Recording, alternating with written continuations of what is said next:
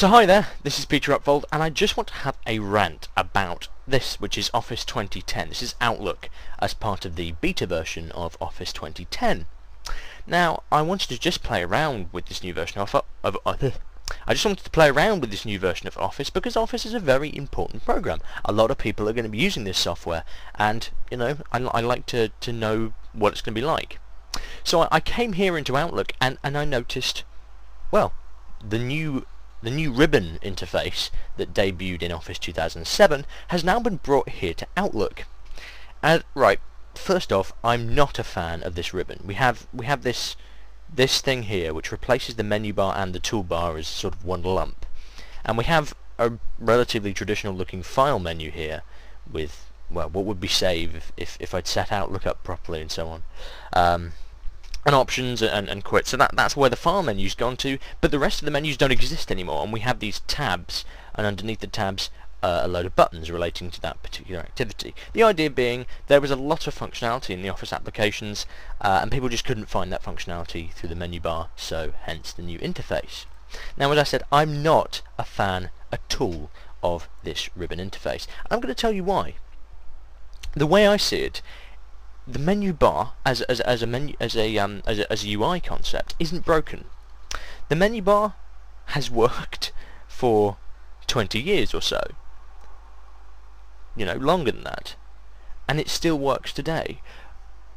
If your interface, if your if your piece of software has so much functionality that you can't fit it into the menus, then you need to look at cutting down the functionality, not changing the interface. People know how menu bars work, and so and I don't think there's a particularly compelling reason to change it.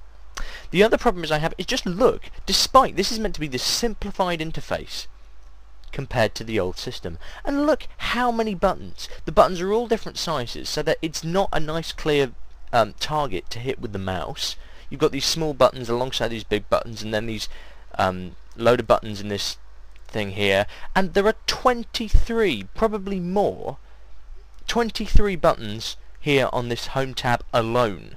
Now if we compare that to Mac OS X's Mail app, which I know is only a mail client and not also a piece of a, a, a groupware application, so it is perhaps not entirely a fair comparison, that has 10 buttons on the default toolbar and they're all necessary and no, you know not superfluous. They all do a job and nothing's there that doesn't need to be there. But here we have everything. I can send stuff to OneNote from here. You know, I've got all of this functionality and I go to this other tab and there's all this other functionality and you've got these small buttons with long descriptions and big buttons. It feels to me very inconsistent, very un very complex and very confusing. And frankly, no, I haven't used this for a, a really long period of time. But being a power user, with Office, I've, I've, used the previous versions of Office, 2003 and, and, and before that, quite extensively. I know where all the stuff is on the menu bars. So yeah, there's that argument, and there's an argument that for a new user, this is still really, really complicated. And the problem is, there's just too much functionality, I think, in these applications.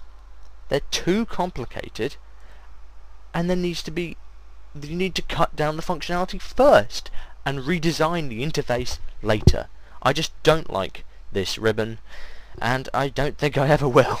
So there we are. There's my rant on the ribbon. And, and one thing I, I should say is the ribbon has now come across all the applications in the base Office suite in 2010 as far as I've looked so far. So Publisher now has it, Outlook now fully has it, uh, and some of the other applications that didn't previously have it as well.